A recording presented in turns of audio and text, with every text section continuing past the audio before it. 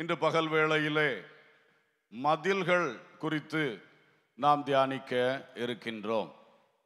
மதில்கள் கத்தருக்கு மகிமை உண்டாகட்டும். நமக்கு பாதுகாவலாக மதில்கள் தேவைப்படுகிறது.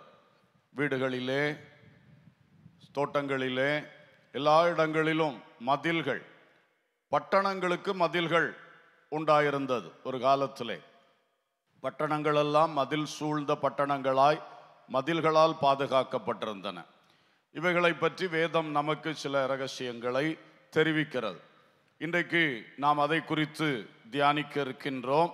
சங்கீதம் ஐம்பத்தி ஒன்று பதினெட்டிலே நாம் பார்க்கின்றோம். சியோனுக்கு உமது பிரியத்தின்படி நன்மை செய்யும். எருசலேமின் மதில்களை கட்டுவீராக. எருசலேமின் மதில்களை கட்டுவீராக. எருசலேம் என்கிற பட்டணத்தின் மதில்களை கட்டும் பாதுகாவலை பலப்படுத்தும் என்று சங்கீதக்காரன் விண்ணப்பிக்கிறார். இன்றைக்கு நாமும் கூட தேவனே என் வாழ்வின் மதில்களை கட்டுவீராக. அல்லூயா என் வாழ்வை சுற்றி நல்ல பாதுகாவலை இன்னும் நீர் பலப்படுத்துவீராக என்கிற ஜபத்தோடு வாஞ்சையோடு இந்த வார்த்தைகளை நாம் தியானிக்க இருக்கிறோம். முதலாவதாக நமக்கு எதிரான மதில்கள் ஒரு சிலதை குறித்த செய்திகளை உங்களுக்கு சொல்லும்படியாய் விரும்புகிறேன். நமக்கு எதிராக நிற்கின்ற மதில்கள் இருக்கின்றன. கத்தருக்கு ஸ்தோத்திரம். எரிகோ பட்டணத்தினுடைய மதில் இஸ்ரவேல் ஜனங்களுக்கு எதிராக நின்றது. என்ன எதிராக நின்றது? அவர்கள் சுதந்தரிக்க வேண்டிய இடம் அது. அதை சுதந்தரிக்க விடாதபடி ஆக்கிரமிப்பாளர்களுக்கு ஒரு பலனாக இந்த மதில் அமைந்தது. அவர்கள் அந்த மதிலுக்குள் அடைத்து கொண்டு இருந்து கொண்டார்கள். இஸ்ரவேலரால் அந்த எரிகோ பட்டணத்தை சுதந்தரிக்க முடியவில்லை. ஆனால் ஆண்டவர் சொன்னபடி அவர்கள் அந்த எரிகோவின் மதிலை சுற்றி நடந்தார்கள். ஆண்டவர் சொன்ன ஒழுங்கின்படி சுற்றி நடந்த பொழுது கடைசியாக அந்த எரிகோவின் மதில் இடிந்து விழுந்தது. அல்லேலூயா! எதிராக நின்ற மதிலை கர்த்தர் உடைத்து இந்த இஸ்ரவேல் ஜனங்களுக்கு அவர் வாக்கு பண்ணின அந்த முற்பிதாவாகிய ஆப்ரஹாமுக்கு வாக்கு பண்ணின அந்த சுதந்திரத்தின் ஒரு பகுதியாகிய இந்த எரிகோ பட்டணத்தை அவர்கள் சுதந்தரிக்கும்படி செய்தார். அல்லேலூயா. எபிரேயர் நிருபம் பதினொன்றாம் அதிகாரம் முப்பதாம் வசனத்தில் நாம் பார்க்கிறோம். விசுவாசத்தினாலே எரிகோ பட்டணத்தின் மதில்கள் ஏழு நாள் சுற்றி வரப்பட்டு விழுந்தது. அல்லேலூயா. விசுவாசத்தினாலே இந்த மதில் எதிரான மதில் உடைந்து விழுந்தது என்று வேத வசனம் நமக்கு சொல்லுகிறது. இன்றைக்கு நாம் சுதந்தரிக்க வேண்டியவைகளை தடை பண்ணி கொண்டிருக்கிற சில மதில்கள் இருக்கின்றன. உங்களுக்கு தெரியும் உங்கள் வாழ்க்கையில நடக்க வேண்டிய எது நடக்காமலே இருக்கிறது. கர்த்தர் தருவேன் என்று சொன்னது சில வருடங்களாக கிடைக்காமல் இருக்கிறது. சில நல்ல வாக்குத்தத்தங்கள் சில வழிகளை தேவன் நமக்கு காண்பித்திருந்தார். ஆனால் அது இன்னும் நம்முடைய கையில் எட்டாமல் இருந்து கொண்டிருக்கிறது. ஒரு மதில் அதை அடைத்து நிற்கிறது தடுத்து கொண்டு இருக்கிறது. அது எதிரான மதில் எரிகோவின் மதில். அந்த மதிலை இயேசு உடைத்து போடுவார். அல்லேலூயா! நம்மிடத்தில் எதிர்பார்க்கிறது விசுவாசம். விசுவாசத்தினாலே எரிகோவின் மதில்கள் விழுந்தன. அல்லேலூயா. யுத்தமில்லை. மதில போய் உடைக்க வேண்டிய அவசியம் இல்லை கர்த்தரை விசுவாசித்தார்கள். அவர் சொன்னதை செய்தார்கள். சுற்றி நடன்னு சொன்னார் நடந்தார்கள். ஒரு நாளைக்கு ஒரு தடவை நடன்னு சொன்னார் நடந்தார்கள். ஏழாம் நாளில் ஏழு முறை நட என்று சொன்னார் நடந்தார்கள். மௌனமாய் நட என்று சொன்னார் வாயை அடைத்து கொண்டு நடந்தார்கள். கடைசி சுற்றிலே ஆர்ப்பரி என்று சொன்னார் ஆர்ப்பரித்தார்கள். இவ்வளவு கீழ்ப்படிதல் இவ்வளவு கீழ்ப்படிதல் காரணம் அவள் கர்த்தர் மேல் வைத்த விசுவாசம். கர்த்தருடைய வார்த்தையை விசுவாசித்த விசுவாசம்.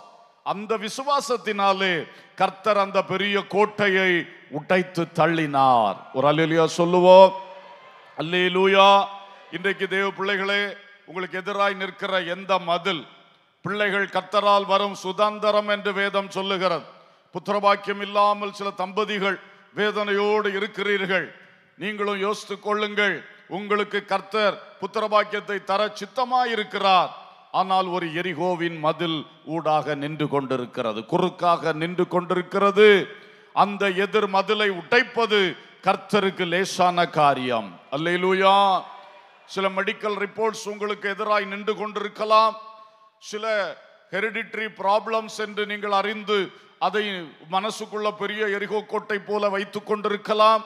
என்ன பிரச்சனையாய் இருந்தாலும் சரி இன்றைக்கு கர்த்தர் எனக்கு தருவார் என்று விசுவாசியுங்கள். அல்லேலூயா. பிள்ளைகள் கர்த்தரால் வரும். சுதந்திரம். கற்பத்தின் கனி அவரால் கிடைக்கும். பலன். இந்த வசனத்தை சொல்லி ஜோம் பண்ணுங்க. கர்த்தரை விசுவாசியுங்கள். இந்த வசனத்தை விசுவாசியுங்கள். அல்லேலூயா. அதைத்தான் சொல்லுங்க. தாரும் தாரும் ஆண்டவரே என்று கேளுங்கள். அதுக்கு மாறான சிந்தைகளை உங்களை விட்டு துரத்துங்கள். பிசாசு எப்பொழுதுமே நம்மை வெறுமையாய் வைக்க விரும்புகிறான். நம்மை நமக்கு கிடைக்கிற ஆசீர்வாதத்தையும் சிதைத்து தள்ள விரும்புகிறான். ஆனால் நாம் விசுவாசத்தோடு கர்த்தரை உறுதியாய் பற்றி கொண்டால் கர்த்தர் அதை கனம் பண்ணுவார்.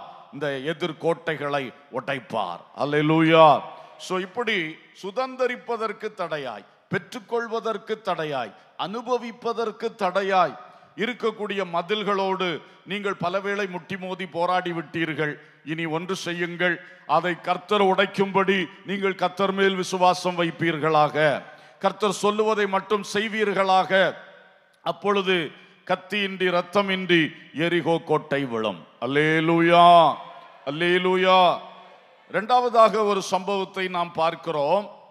எருசலேமை சூழ நல்ல ஒரு மதில் இருந்தது.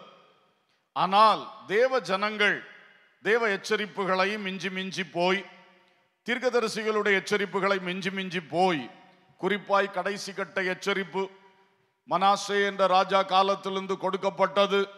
அதையும் மீறி மீறி நடந்து சிதைக்கியா என்கிற ராஜாவின் காலத்திலே அவர்களுடைய மதில் இடிக்கப்பட்டது. எருசலேமின் மதில் இடிக்கப்பட்டது. எருசலேம். அதனுடைய மதில் அந்த எருசலேம் பட்டணத்துக்கு பாதுகாவலா இருந்து வந்தது. ஆனால் என்ன நடந்தது? இறைமையா ஐம்பத்தி ரெண்டு நான்கிலே சொல்லப்பட்டிருக்கிறது சிதைக்கியா ராஜ்யபாரம் பண்ணும் ஒன்பதாம் வருஷம் பத்தாம் மாதம் பத்தாம் தேதியிலே பாபிலோன் ராஜாவாகிய நேபுகாத் நேச்சாரும் அவனுடைய எல்லா இராணுவமும் எருசலேமுக்கு விரோதமாய் வந்து அதற்கு எதிராக பாளையம் இறங்கி சுற்றிலும் அதற்கு எதிராக கொத்தளங்களை கட்டினார்கள். அப்படியே சிதைக்க ராஜாவின் பதினோராம் வருஷம் மட்டும் நகரம் முற்றுகை போடப்பட்டிருந்தது. எருசலேமுக்கு பாதுகாவலாக ஒரு மதில். அந்த மதிலை சுற்றி இப்பொழுது சத்ருவினுடைய பாளையம் சத்ருவினுடைய கொத்தளங்கள். அவன் வந்து மதில் போட்டு நிற்கிறான். அவன் மதில் போட்டு நிற்கிறான். அவன் எதற்கு சுற்றி வளைந்து நிற்கிறான்? இந்த கர்த்தருடைய பிள்ளைகளை பாதுகாக்கின்ற மதில்ல எப்போ ஒரு திறப்பு உண்டாகும்? அந்த திறப்பு உண்டானோன்னா உள்ள புகுந்துடணும் இவங்களுடைய மதிலை முற்றிலுமா உடைச்சிடணும் இவங்களுடைய எல்லாவற்றையும் சுட்டரிக்கணும் கொள்ளையிடணும். இதுக்கு அவன் வந்து நிற்கிறான். அவன் சுற்றி நிற்கிறான். உள்ளே சிதைக்காவும் அவன் ஆட்களும் இருந்து கொண்டிருக்கிறார்கள் பட்டணத்தார் இருந்து கொண்டிருக்கிறார்கள். கடைசியிலே திடீரென்று நடந்த சம்பவம் ஆறாம் வசனம். நாலாம் மாதம் ஒன்பதாம் தேதியிலே பஞ்சம் நகரத்திலே அதிகரித்து தேசத்தின் ஜனங்களுக்கு ஜனத்துக்கு ஆகாரம் இல்லாமல் போயிற்று. Praise உள்ளே பாதுகாவலின் மதில்குள்ளே இவங்க இருந்தாங்க. ஆனா இப்ப பாதுகாவலின் மதிலே இவர்களுக்கு பஞ்சம் உண்டாக்குற மதிலாய் நின்- மாறிவிட்டது. இந்த மதில் இருக்கிறதுனால அதை சுற்றி சத்துருவின் கொத்தளங்கள் இருக்கிறதுனால இப்ப எங்களுக்கு வெளியே போக முடியல. விவசாயம் பண்ண முடியல. ஆகாரம் கொண்டு வர தானியம் கொண்டு வர முடியல. இப்ப பஞ்சம் நாளுக்கு நாள் பெருகுது. அவனும் அதுக்கு தான் காத்திருக்கான் வெளியே. பஞ்சம் கொஞ்சம் கூட கூடட்டும். இவன் விழுவான். நம்ம கையில விழுவான். என்று சத்துரு சூழ மதில் போட்டு கொத்தளம் போட்டு அவன் காத்திருக்கான். அப்போ இவங்களுக்கு இதுகாரும் பாதுகாவலின் மதிலாக இருந்தது. பஞ்சம் உண்டாக்குற மதிலாய் மாறிட்டு கடைசியில் தாங்க முடியல. ஏழாம் வசனம் நகரத்தின் மதில் இடிக்கப்பட்டது. அல்லேலூயா. யுத்தம் செய்ய பலன் இல்லை. பஞ்சத்தால் வாடி விட்டார்கள். தங்களை காத்துக்கொள்ள இவர்களுக்கு எந்த ஒரு திராணியும் இல்லாதே போய்விட்டது. சத்துரு வந்து விட்டான் மதில் இடிக்கப்பட்டது. கல்தேயர் கல்தேயர்னா அந்த பாபிலோனியர் நேபுகாத் நேச்சாருடைய ஆட்கள். அவர்கள் நகரத்தை சூழ்ந்து இருக்கையில் யுத்த மனுஷர் எல்லாரும் ராத்திரி காலத்தில் ஓடி ராஜாவுடைய தோட்டத்தின் வழியே ரெண்டு மதில்களுக்கும் நடுவான வாசலால் நகரத்திலிருந்து புறப்பட்டு வயல்வெளியின் வழியே போய் விட்டார்கள் உள்ள இருந்தா சாவு. வெளியே போனா சத்ரு கடைசியில் துணிஞ்சி ஒரு திறப்பு உண்டாக்கி ஓடிட்டா. மதில் திறக்கப்பட்டு விட்டது. ஓடி போனால் ஓடி போனவர்களை விடவில்லை. சரித்திரம் தொடர்ந்து வருது. விரட்டி பிடித்தான் சத்ரு. சிதைக்கியாவை பிடித்தான். அவன் கண்களுக்கு முன்னதாக அவன் பிள்ளைகளை கொன்றான். அந்த சிதைக்கியா ராஜாவுடைய ரெண்டு கண்களை பிடுங்கி சங்கிலி போட்டு பாபிலோனு கொண்டு போய் சிறை வைத்தான். ஓடியும் தப்ப முடியவில்லை. பரிதாபமான ஒரு முடிவு தேவஜனமாகிய இஸ்ரவேலுக்கு எருசலேமுக்கு அன்றைக்கு உண்டாகிவிட்டது. இறைமையா ஐம்பத்தி ரெண்டு பதினான்குல சொல்லியிருக்கிறது. காவற் சேனாதிபதியோடு இருந்த கல்தேயரின் இராணுவத்தார் எல்லாரும் நேபுகாத் நேச்சாருடைய படைத்தலைவனாய் இருந்த நபுசராதான் என்பவனுடைய அந்த இராணுவத்தெல்லாரும் எருசலேமை சுற்றிலும் இருந்த அலங்கங்களை இடித்து போட்டார்கள் இடித்து போட்டார்கள். எருசலேமின் அலங்கம் இடிக்கப்பட்டது. ரொம்ப சங்கடமான நிலை. இப்போ பட்டணம் திறந்து கிடக்கிறது. திறந்து கிடக்கிறது. இந்த நிலையில் அந்த பட்டணம் காணப்பட்டது. ஒரு எழுபது வருஷம். அப்படிப்பட்ட ஒரு பரிதாப நிலைமையிலே மதில் இடிக்கப்பட்ட பட்டணமாக எருசலேம் இருந்தது. அன்புக்குரிய தேவ பிள்ளைகளே உங்கள் வாழ்க்கையிலே இன்றைக்கு எதை பாதுகாவல் என்று நினைத்தீர்களோ அதுவே உங்களை விழுங்கி கொண்டிருக்கிறது. எருசலேமின் மதில் அவர்களுக்கு பாதுகாவல். ஆனா இப்போ என்ன ஆகி போச்சு அந்த மதிலை சுற்றி சத்துரு வந்து நிக்கிறதுனால இவங்களுக்கு ஆகாரம் இல்லாத நிலை வெளியே போக முடியாத நிலை அந்த பாதுகாவலின் மதிலே பஞ்சத்தை உண்டாக்குற மதிலாக மாறிவிட்டது. இன்னைக்கு அநேகருடைய வாழ்க்கையில் இப்படிப்பட்ட வேதனைகளை அனுபவித்துக் கொண்டிருக்கிறீர்கள். எது நல்லதுன்னு நினைச்சு நீங்க செய்ய ஆரம்பிச்சீங்களோ அதுவே இன்னைக்கு உங்களுக்கு தீமையா மாறி இருக்கிறது தீமை தாங்க முடியல. என்ன செய்ய தப்பும் வழி இல்லை. ஏகமாய் மாட்டிக்கொண்டோம் என்று பொருளாதாரத்திலோ பிசினஸ்லோ அல்லது உங்களுடைய உறவினர் நடுவிலோ எந்த ஒரு காரியத்திலும் சிக்கி போய் தவித்து கொண்டிருக்கிறீர்களா? இவங்க நமக்கு உதவி செய்வாங்கன்னு நினைச்சு அவங்க கையில போய் ஒரு ரகசியத்தை சொன்னோம். இன்னைக்கு அந்த ரகசியத்தை பிடிச்சிட்டு அவனே நம்மை விழுங்க நிக்கிறான். இவங்க நம்மளை பாதுகாப்பாங்கன்னு சொல்லி அவங்க கிட்ட போய் ஒதுங்கணும் வேலியே பயிரை மேய தொடங்கி இருக்கிறது. இப்படிப்பட்ட பல வேதனை நிறைந்த சூழ்நிலைகளில் அநேகர் இன்றைக்கு நெருக்கப்படுகிறதை நாம் பார்க்கிறோம். வெளியே சொல்ல முடியாமல் பலர் இப்படிப்பட்ட வேலிகளுக்குள் சிக்கி இப்படிப்பட்ட மதில்களுக்குள் சிக்கி நல்லதுன்னு நம்பினேன். இன்னைக்கு அதுவே தீமையா முடிஞ்சு போச்சு. இவர் என்னை பாதுகாப்பார்னு இவர்கிட்ட போய் இந்த விஷயத்தை சொன்னேன். அதையே வாய்ப்பா எடுத்துக்கிட்டு அவரே எனக்கு தொந்தரவு கொடுக்க ஆரம்பிக்கிறார். இப்படியெல்லாம் ப- உள்ள பல சூழ்நிலைகளில் பஞ்சத்தால் எருசலை மக்கள் வாடினது போல நீங்களும் வாடிக்கொண்டிருக்கிறீர்கள். எப்பொழுது இதிலே ஒரு தரப்பு காணும் வெளியே ஓடி தப்பித்துக் கொள்ளலாம் என்கிற நிலையில் நீங்கள் இருக்கலாம். ஆனால் அன்றைக்கு எருசலேமுக்கு அது வந்தது தேவ தண்டனை தேவ கோபம். பல நாள் தீர்க்கதரிசிகளை கொண்டு எச்சரித்தோம். இந்த ராஜாவோ இந்த மக்களோ திருந்தாம போனதுனால கர்த்தர் எடுத்த ஒரு நடவடிக்கை தான் நேபுகாத் நேச்சாரை வரவிட்டார். இன்றைக்கு உங்கள் வாழ்க்கையிலும் அப்படி இருக்கலாம். இன்றைக்கு நீங்கள் அகப்பட்டிருக்கிற அந்த மதில் அகப்பட்டிருக்கிற அந்த வேலி அது நல்ல வேலி நினைச்சிங்க அது முள்ளு வேலையா இருக்கு. நல்ல மதில் நினைச்சிங்க பஞ்சத்தை கஷ்டத்தை கொடுக்கிற மதிலா இருக்கு. இதுக்கு காரணம் நம் வாழ்வில் வந்த ஒரு தவறு. நம் வாழ்வில் வந்த சில பாவங்களாக இருக்கலாம்.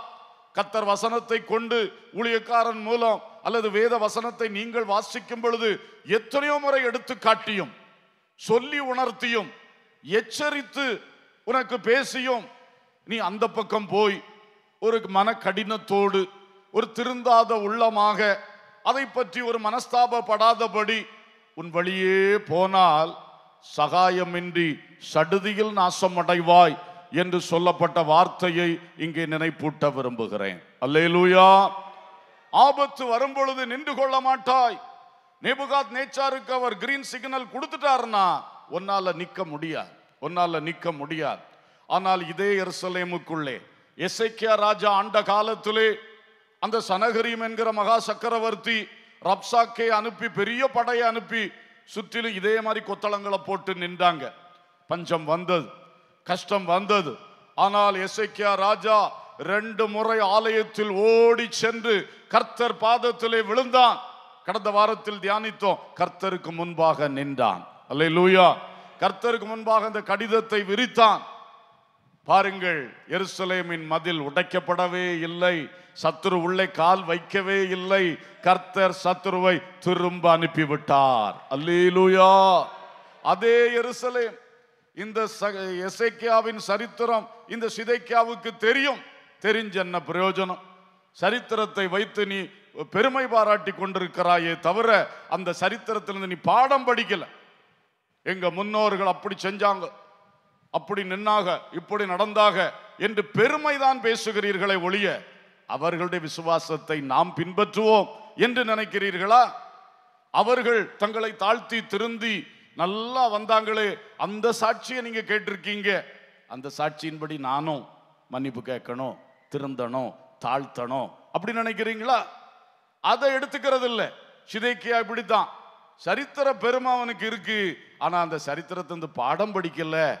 இறைமையா தீர்க்கதரிசி எச்சரிப்பின் மேல எச்சரிப்பு கொடுக்கிறார். அவன் கண்டுகொள்ளவே இல்லை.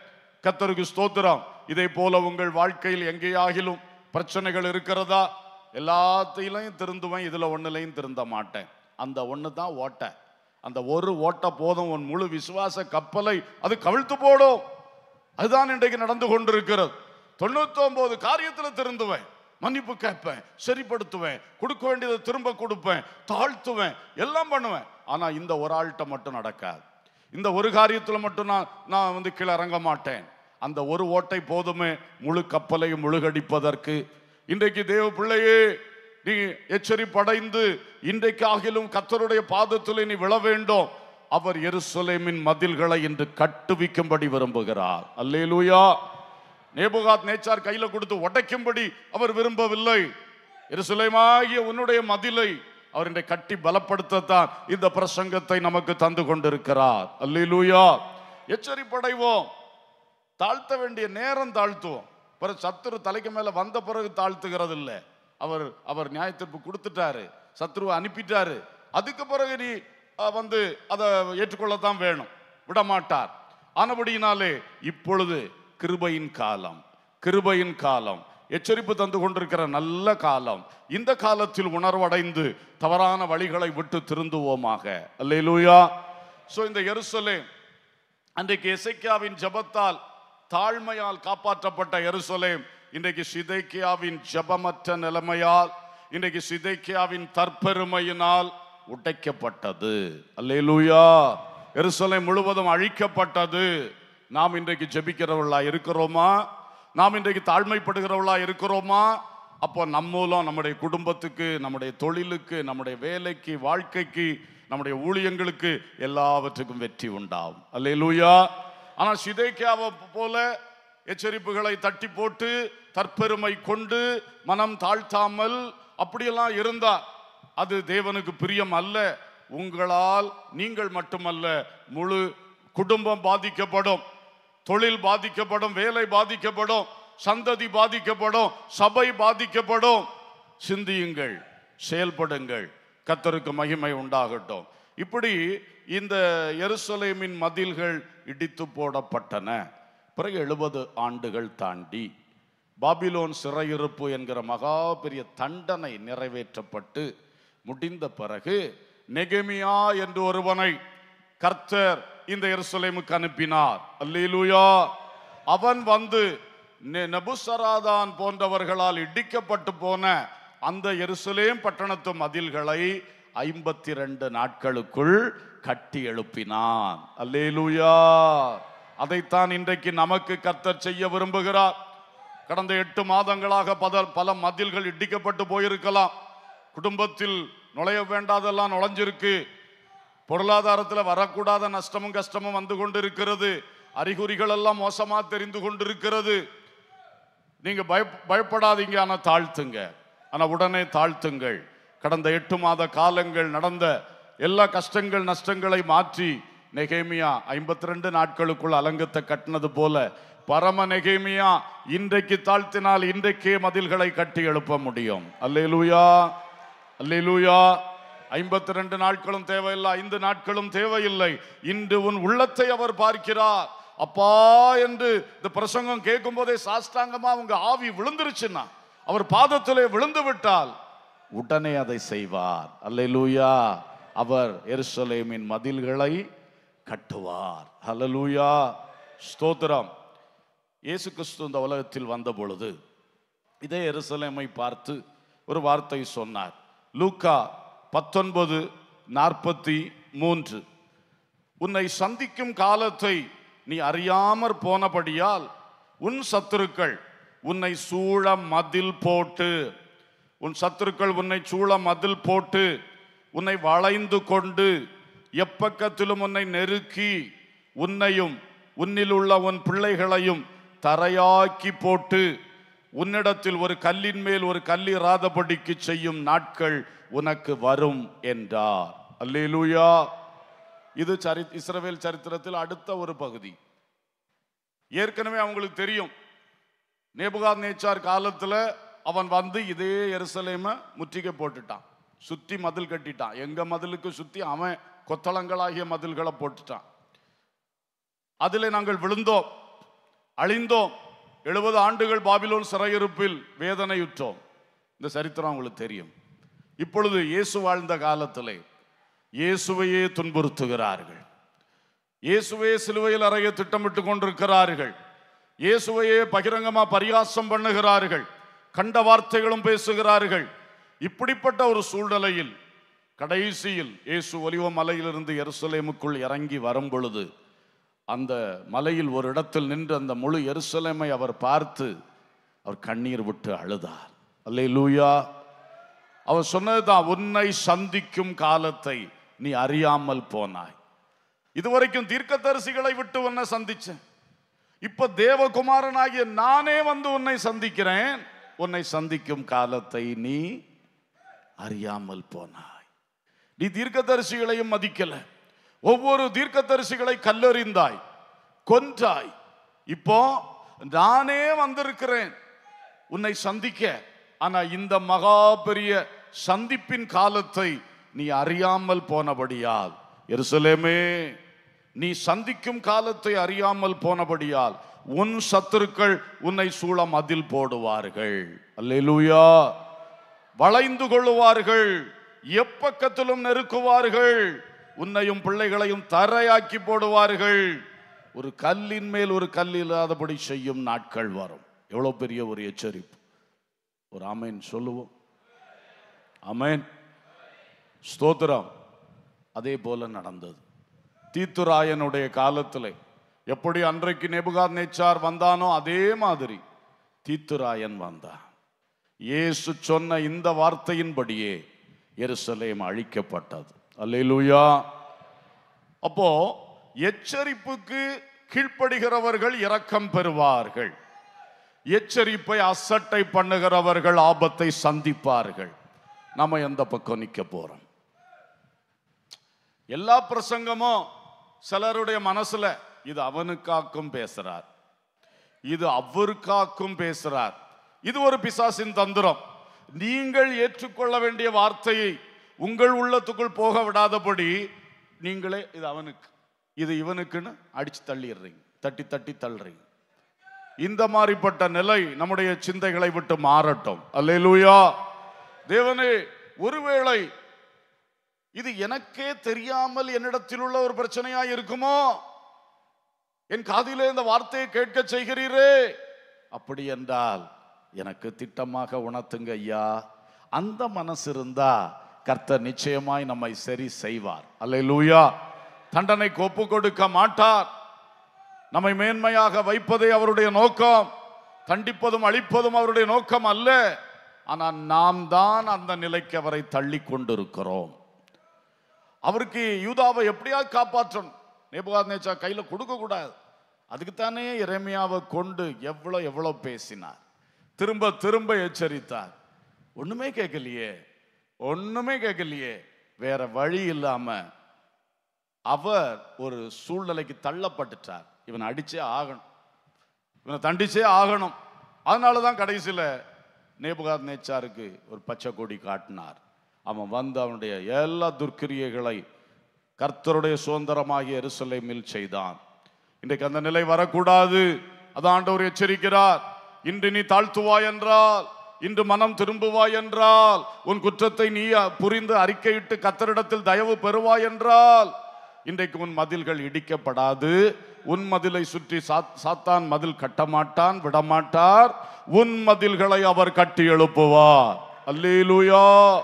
உன் மதில்களை கட்டி எழுப்புவார். உன் மதில்களின் வாசல்கள் உன் கையில் கண்ட்ரோல்ல இருக்கும்.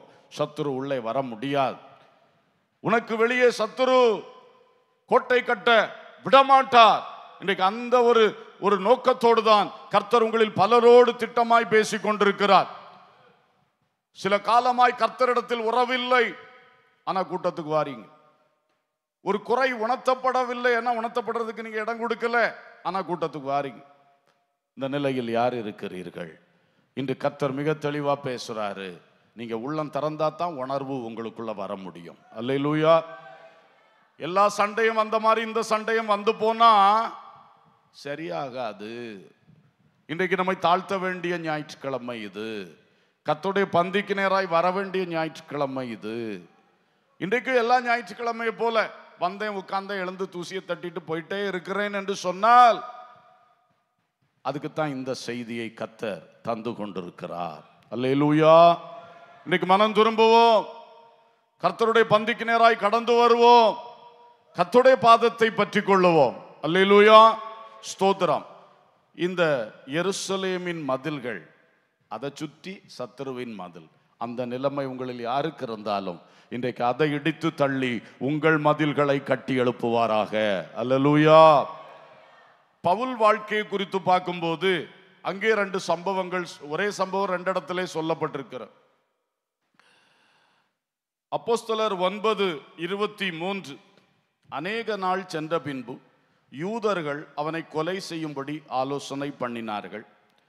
அவர்களுடைய யோசனை சவுலுக்கு தெரிய வந்தது.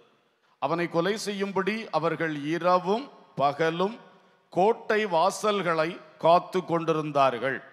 கோட்டை வாசல்கள் மதிலின் வாசல்களை காத்து கொண்டிருந்தார்கள். சீஷர்கள் ராத்திரியிலே அவனை கூட்டிக் கொண்டு போய் ஒரு கூடையிலே வைத்து மதில் வழியாய் இறக்கி விட்டார்கள். ஒரு அல்லேலூயா சொல்லுவோம். அதை பவுல் திரும்ப சொல்லும் பொழுது ரெண்டு குருந்தியர் பதினொன்றாம் அதிகாரம் முப்பத்தி இரண்டு முப்பத்தி மூன்று வசனங்களில் பார்க்கிறோம்.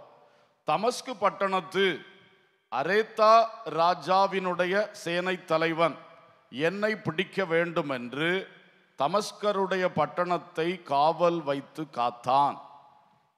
அப்பொழுது நான் கூடையிலே வைக்கப்பட்டு ஜன்னலில் இருந்து மதில் வழியாய் இறக்கி விடப்பட்டு அவனுடைய கைக்கு தப்பினேன். ஒரு அல்லேலூயா சொல்லுவோம். அல்லூயா ஸ்தோத்ரம் இதுக்கு முன்னால சொன்னது ஒரு பட்டணம் முழுவதற்கும் நெருக்கம். இப்போ தமஸ்கு பட்டணத்தில் நிறைய பேர் இருக்காங்க. பவுல் என்ற ஒருத்தனுக்கு மட்டும் நெருக்கம். அல்லூயா பவுல் என்ற ஒருவன் உள்ளே இருக்கிறான். அவனை பிடிக்கணும்னு சொல்லி அரைத்தா ராஜாவினுடைய சேனாபதி. அவன் ராத்திரி பகலா கோட்டையின் வாசலில் ஆள் வைத்து என்ன பண்ணிட்டு இருக்கான் காத்து கொண்டே இருக்கிறான். இவனை உள்ள இருந்து வெளியே விட்டுறக்கூடாது. உள்ள வச்சே பிடிச்சிடணும். அப்போ எப்பா எஸ்கேப் ஆகினான்னு சொன்னா அங்க பிடிச்சிடணும்னு சொல்லி கோட்டையிலே மதில் வாசல்களிலே காவல் வைத்திருக்கிறான். ஆமேன். கத்தருக்கு ஸ்தோத்திரம். இன்றைக்கோ நேற்றைக்கோ ஒருத்தர் அரெஸ்ட் பண்ணத செய்தியில் வந்திருந்துச்சு. கொஞ்ச காலமாக அவரை தேடிக்கிட்டே இருந்தார்கள். திடீர்னு ஒரு ஏர்போர்ட்டில் வச்சு நேற்றைக்கு கைது செய்தார்கள். அவர் தப்பி ஓடதுக்கு வே வெளிநாட்டுக்கு தப்பி ஓடதுக்கு ரெடி ஆகும்போது கரெக்டாக பிடிச்சிட்டாங்க. பாருங்கள் அதான் கோட்டை வாசலில் காவல் வைக்கிறது. லுக் அவுட் நோட்டீஸ்னு சொல்லுவாங்க. லுக் அவுட் நோட்டீஸ் ஒரு ஆள் பேரில் கொடுத்துருந்தா அவருக்கு பாஸ்போர்ட் இதெல்லாம் அவங்க இது பண்ணி வச்சுருப்பாங்க. அந்த பாஸ்போர்ட்டில் இவர் வெளியே போகிறாருன்னா அவருக்கு கரெக்டாக பிடிக்க வேண்டிய இடத்துல வச்சு பிடிச்சிருவாங்க. இது மாதிரி பவுலுக்கு ஒரு லுக் அவுட் நோட்டீஸ் கொடுக்கப்பட்டிருக்கிறது. இவனை பிடிக்கணும். ராத்திரியும் தப்பி ஓடிடக்கூடாதுன்னு சொல்லி கோட்டை அந்த வாசல்கள் எல்லாவற்றிலும் அவனுடைய ஆட்களை வைத்து காவல் பண்ணி கொண்டே இருக்கிறான்.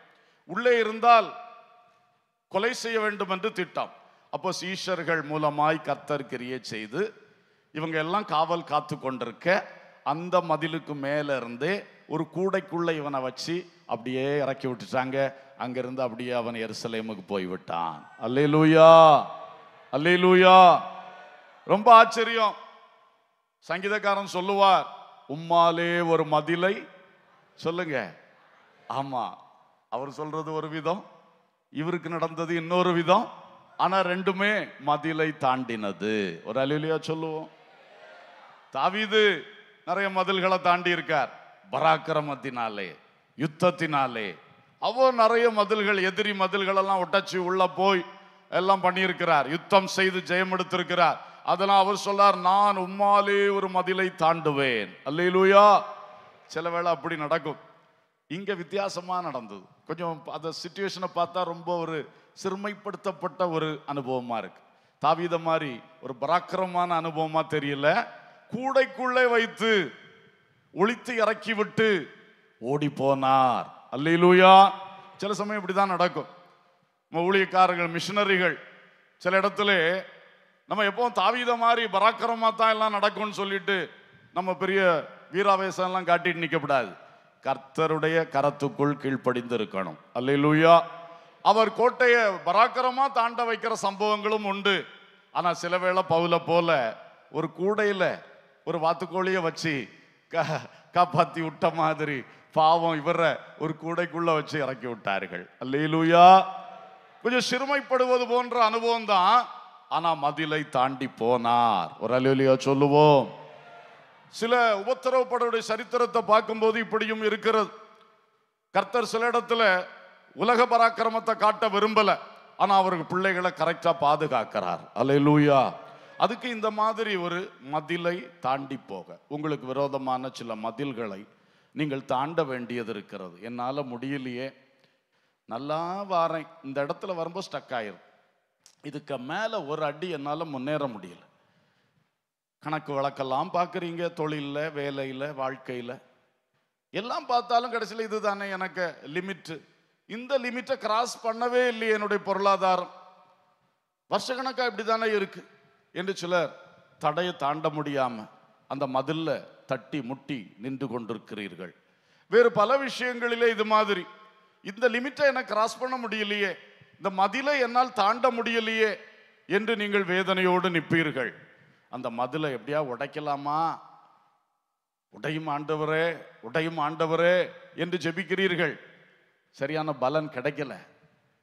ஒரு ஒரு ஒரு ஒரு சாட்சி ஒரு ஊழியக்காரர் எழுதியிருந்தார். ரொம்ப வருஷத்துக்கு முன்னால் படித்தது அவர் பேர் மறந்துட்டேன். இப்போ வாட்ச்மேன் நீ என்பவர் ஒரு இது எழுதியிருந்தார். அவர் அந்த ஒரு ஒரு விவசாயியான விஸ்வாசி ஒரு சின்ன படகு வச்சு ஒரு ஆற்றை கடந்து சென்று அவருடைய நிலங்களை கவனிப்பார். அப்போ திடீரென்று ஒரு நாள் படகுல போகும்போது படகு அடி தட்டி நின்று விட்டது. என்னென்னா கீழே ஒரு கட்டு கட்டி இருக்கு. இந்த தண்ணியை சேமிக்கிறதுக்கு ஒரு கட்டு கட்டி இருக்கு. தண்ணி நீர்மட்டம் குறைஞ்சதுனால இவருக்கு படகு தட்டிடுச்சு கீழே. ஒன்றும் எவ்வளோ செஞ்சாலும் முன்னால் போக முடியாது. வேதனையோடு வந்து விசுவாசி ஆனனால வைராக்கியமாக ஜெபித்தார் அந்த தடையை உடையும் உடையும் உடையும் உடையும் என்று ஜெபிச்சுட்டு போனால் அடுத்த நாளும் டக்குன்னு தட்டி நின்றுச்சு. ரொம்ப சோர்வாயிட்டு வந்து ஆண்டவர்கிட்ட ஆண்டவரே என்னப்பா? தடையை உடைக்க நீர் வல்லவர் அல்லவா? எரிகோ கோட்டையை உடைத்தீர் அல்லவா? ஏன் இந்த கோட்டையை உம்மால் உடைக்க முடியல? என்று ஜோமனும் பொழுது கத்தர் சொன்னார் தடையை தாண்ட பலனை தாரும்னு ஜோமண்ணு இந்த இந்த தடையை நான் உடைக்க மாட்டேன். உடைக்க போகிறதில்ல ஆனால் இந்த தடையை தாண்டதுக்கு நீ என்ன செய்? ஜோமன் அன்னைக்கு ஜெபத்தை மாத்திட்டார். ஆண்டவரே இந்த தடையை தாண்ட எனக்கு பலன் தார். அடுத்த நாள் போட் எடுத்துட்டு போறாரு. அது தடையை தாண்டி போயிட்டே இருக்கு. இவருக்கு ஆச்சரியம் தாங்க முடியல. காரணம் என்ன? இவர் தடையை தாண்ட பலன் தாரும் ஜோமனும் போது ராத்திரி ஆண்டவர் நல்ல மழையை கொடுத்தார். மழையில நீர் மட்டம் ஏறிடுச்சு. தடை அங்கதான் இருக்கு. ஆனா தடைக்கு மேல தண்ணீர் லெவல் ஏறிட்டதுனால இவர் போட்டு தட்டாம போச்சு. அல்லையிலூயா எப்படி? சில தடைகளை உடைக்க மாட்டார். அது உனக்கு தடை. ஆனா அந்த தண்ணி இல்லாமல் போகும்போது கொஞ்சம் தண்ணி அது சேமித்து வச்சு மக்களுக்கு கொடுக்கும். அதுக்கு தான் அது செக் டேம். அதை கட்டி வச்சிருக்கு. அப்போ அநேகருக்கு நன்மை உண்டாக்குற ஒன்று உனக்கு மட்டும் தடையா இருக்கு. அதை கத்தர் உடைச்சு எல்லாருக்கும் கஷ்டத்தை உண்டாக்க மாட்டார். ஆனா நீ கத்தர் நோக்கி ஜெபிக்க வேண்டிய விதமா ஜெபிச்சா அதை தாண்டி செல்ல உனக்கு உதவி செய்வா அல்லையிலூயா சில மதில்கள் நம்மை வாழ விடாத மதில்கள் நம்மை தாண்ட விடாத முன்னோக்கி போக விடாத அந்த தடை மதில்கள் தான். இது பலர் பல விதத்தில் நீங்கள் ஒருவேளை அனுபவிச்சுட்டு இருக்கலாம். இதுவரைக்கும் அதை உடையும் உடையும் உடையும்னே ஜோம் பண்ணிட்டு இருக்கீங்க. ஆனா இப்பொழுது கர்த்தர் உங்களுக்கு சொல்லுகிற வார்த்தை இதுதான். நீ அதுக்கு எப்படி ஜோம் பண்ணணும்னு கத்தட்ட கேட்டு ஜோம் பண்ணுங்க. ஒரு அல்லா இல்லைன்னா ஒரு ஆமேன். ஆ? ஆமா. அதனால தடைய உடையனுள்ள ஜெபத்தை மாற்றி. அவனை மாற்றும் இவனை அழியும் அவனை அகற்றும். இந்த ஜபங்களெல்லாம் மாற்றிக்கிட்டு மாத்திக்கிட்டு இதுக்காக எப்படி ஜெபம் பண்ணணும் ஆவியானவர் சொல்லி தருவார். அல்லேலூயா. ஒருவேளை தாண்டி போகும் காரியத்தை சொன்னார்னா அதுக்காக ஜோம் பண்ணுங்க. இல்லை அவர் வேற ஏதாவது உங்களுக்கு ஐடியா சொல்லி இதுக்கு ஜோம் பண்ணனாருன்னா அதுக்கு ஜோம் பண்ணுங்க. நிச்சயமாக அந்த மதிலை தாண்டி போவீர்கள். அல்லேலூயா. அந்த மதில் தடுக்க முடியாது. பிரைஸ் இப்படித்தான் பவுலுக்கு அந்த மதில் உயிர்க்கே ஆபத்தானதாய் நின்று கொண்டிருந்தது. ஆனா கத்தர் சீஷர்களுக்கு ஒரு புத்தியை கொடுத்து அந்த மதிலை அவன் தாண்டி சென்று உயிர் தப்பிக்கொள்ள அவனுக்கு உதவி செய்தார். அல்லூயா ஸ்தோத்திரம். இப்படி பல மதில்கள் இருக்கின்றன. இப்போ நான் நம்மை கட்ட வேண்டி நமக்கு கட் நமக்காக கட்டி எழுப்பப்பட வேண்டிய மதில்களை குறித்து சில சம்பவங்களை சொல்லுகிறேன். யாத்ரா புஸ்தகத்திலே இஸ்ரவேல் ஜனங்கள் செங்கடலை கடந்து போன நிகழ்ச்சியை படிக்கிறோம். ஆச்சரியமான காரியம். முதல்ல அவங்க நடந்து வந்த பொழுது அவங்க முன்னோக்கி போக முடியாமல் செங்கடலின் தண்ணீர் தடையா இருந்தது செங்கடலின் தண்ணீர். ஒரு மதில் போல குறுக்காலே நின்றது. ஆனால் அடுத்து கர்த்தர் ஒரு அற்புதம் செய்த வேளையிலே அதே செங்கடலின் தண்ணீர் இவர்களுக்கு வழிவிட்டு ரெண்டு பக்கம் மதில்களாக நின்றன. அல்லேலூயா. தடையான மதிலையே கர்த்தர் ஆதரவான மதிலாக மாற்றி கொடுத்த சம்பவம். ஒரு அல்லேலூயா சொல்லுவோம். யாத்ராமம் பதினான்கு இருபத்தி ஒன்பது இஸ்ரவேல் புத்திரரோ சமுத்திரத்தின் நடுவாக வெட்டாந்தரையின் வழியாய் நடந்து போனார்கள். அவர்கள் வலதுபுறத்திலும் அவர்கள் இடதுபுறத்திலும் ஜலம் அவர்களுக்கு மதிலாக நின்றது. அல்லேலூயா. கொஞ்சம் முன்னாடி வரைக்கும் உன்னை நடக்க விட மாட்டேன் நீ கால் வைக்க முடியாது என்று தடுத்து நின்ற தண்ணி ஜலம். இப்ப கர்த்தருடைய கட்டளையின் பேரிலே ரெண்டு பக்கம் அதுவே மதிலாக எழும்பி நிற்கிறது. அல்லேலூயா. நல்ல பாதுகாவலா உள்ள நடந்து போனார்கள். அமேன் அடுத்து கொஞ்ச நேரம் தாண்டி பார்வோன் சேனையும் அதுக்குள்ளே வந்தார்கள். மறுபடியும் மதில் சரிந்து அவங்க மேல விழுந்தது தண்ணீர் திரும்ப வந்தது. பார்வோனின் சேனை மொத்தமாய் அழிக்கப்பட்டார்கள். அல்லேலூயா. ஒரே ஜலம்தான். முதல்ல தடையா நின்றுது. அடுத்து இஸ்ரவேலருக்கு ஆதரவா நின்றுது. அடுத்து பார்வோன் சேனைக்கு அழிவை உண்டாக்கினது. இப்படிதான் இருக்கும். அது உலகத்தானுக்கு ஒரு விதமா கிரிய செய்யும். தேவ மக்களுக்கு இன்னொரு விதமா கிரிய செய்யும். அல்லேலூயா. நம்ம ஒரு தடையை பார்த்த உடனே உலக பிரகாரமான சிந்தனை கொள்ளக்கூடாது. எல்லாருக்கும் இப்படி ஒன்று வந்துச்சுன்னா அடுத்து இப்படித்தான் நடக்கும். அடுத்து அப்படித்தான் போகணும். இனி வேற வழி இல்லை. இப்படி உலகத்தார போல அந்த பிரச்சனையை எதிர்கொள்ளக்கூடாது. அந்த தடையை எதிர்கொள்ளக்கூடாது. நீங்கள் கர்த்தரை நோக்கி கூப்பிடுங்கள். மோசையும் இஸ்ரவேலரும் கர்த்தரை நோக்கி கூப்பிட்ட பொழுது குறுக்கால நின்ற தண்ணீரை அதையே மதிலாக பாதுகாவலின் மதிலாக நிறுத்தி கொடுத்தார். அல்லேலூயா. நீங்க கர்த்தரை நோக்கி கூப்பிடுங்க. உலகத்தாருக்கு இந்த பிரச்சனை வந்தால் இப்படி தான் நடக்கும். அது உண்மைதான். ஆனால் உங்களுக்கு அப்படி நடக்காது. நீங்கள் கர்த்தர் நோக்கி கூப்பிடும் பொழுது கர்த்தர் அதே பிரச்சனையை நாளைக்கு உங்களுக்கு ஒரு அனுகூலமான காரியமாய் மாற்றி தருவார். அல்லேலூயா. உங்களுக்கு விசுவாசிக்க முடியுதா? ஆச்சரியமாக இருக்கும். இப்படி ஒன்று வந்ததே எனக்கு பெரிய நன்மைன்னு நீங்கள் வாயினால சொல்லத்தக்க அளவில் ஒரு கிரியை நடக்கும். அல்லேலூயா. உலகத்தாரால் அப்படி சொல்ல முடியாது. அந்த கிரியை அவங்களுக்கு நடக்காது. ஆனால் உங்களுக்கு நடக்கும். ஐயோ இப்படி ஒன்று வந்து போச்சே. இனி அடுத்த ஸ்டெப்பு எதுக்கும் போக முடியாமல் இது நம்மளை தடுத்துட்டு நிற்கிறது இதை விட்டுட்டு வேற வழி பார்க்கலான்னா பின்னால பார்வோம் சேனை. அங்கேயும் போக முடியாது இங்கேயும் போக முடியாது. ஒரு வழியும் இல்லையே. இப்போ இதுவும் நமக்கு இடைஞ்சலா இருக்கு எல்லாமே இடைஞ்சலா இருக்கு என்று நீங்கள் சிக்கி நிற்கலாம். ஆனா இந்த சிக்கலையே உங்களுக்கு நன்மையாய் மாற்ற கர்த்தரால் முடியும். அல்லேலூயா. ஆனால் அவங்க மூளை ஒத்துக்காது. இப்படி ஒன்று நடந்த பிறகு இனி எப்படி? அது நம்ம சாதா மூளை உலகத்து மூளை. ஆனால் உலகத்து மூளை அல்ல நாம் ஆவியில் கர்த்தரை நோக்கி பார்க்கும் பொழுது அவருடைய ஞான ஆலோசனை தருவார். அல்லேலூயா.